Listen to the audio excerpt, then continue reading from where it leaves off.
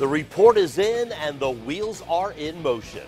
Old Dominion's fast track football program is ready for a new home, but the process is just beginning and it won't be built anytime soon. I'm Bruce Rader. Welcome to the Sports Wrap Live on this Thursday night. And for the first time today, Old Dominion Athletic Director Dr. Wood Selig was finally able to talk about what's been reported since Monday. A year long study has concluded the university should include a new state of the art football stadium in its master plan, and that will probably cost in the neighborhood of $100 million. Foreman Field's days are numbered. The report has recommended against renovation and instead stated that the best thing to do is tear down the Powhatan apartment dorms and build the stadium on this site near the Elizabeth River. Now, this is the proposed area shot today from Chopper 10. The apartments built in the late 70s and early 80s are just a few blocks away from the Elizabeth River. Much like Florida International's new stadium provides some fans with a view of the Atlantic Ocean, a new football stadium could also have some water views. Sports fans seem to flock to new stadiums and arenas with fancy sky suites and many of the comforts of home, and that means more revenue.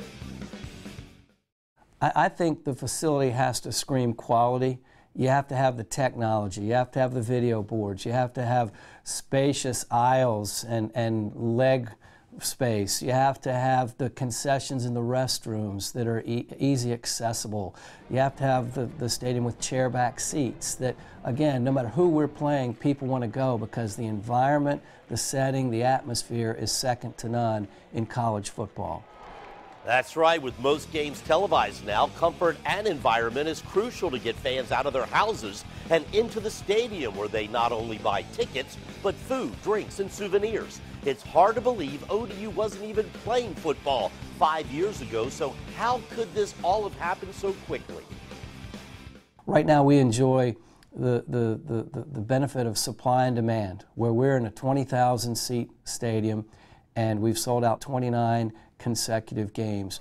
We have to make sure that we get the number right for the new football stadium. Is it 28,000? Is it 30,000? What is that number? Because I think the last thing we can afford to do is overbuild our demand and, and then you lose the luxury of having that urgency for your tickets and surrounding your program.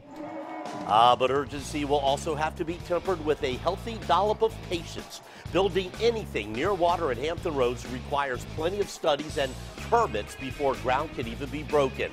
And new dorms and dining rooms for 700 students will have to be built before the Powhatan dorms can be torn down. So we're probably talking at least five years, maybe more, before the first game can be played. But as we have seen since Dr. Selig has taken the reins, things move quickly when it comes to athletics at ODU, and we should know much more by Christmas.